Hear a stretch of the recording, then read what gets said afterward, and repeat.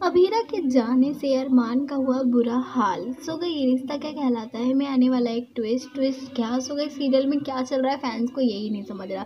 Because अब जो आने वाला ट्विस्ट है, उसमें हम देखने वाले हैं कि अरमान जो है रूही से शादी कर लेने वाले हैं और अबीरा को घर से निकाल देते हैं और अबीरा खुद ही चली जाती है घर से अपना सामान लेके।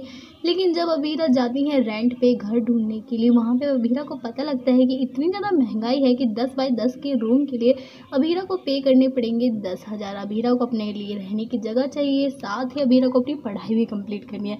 इन सब चीज़ों में अभीरा बहुत बुरी तरीके से फंस चुकी हैं। लेकिन गाइस अभीरा अपनी माँ का सपना ज़रूर पूरा करेंगी और अपनी फैमिली का नाम रोशन करेंगी।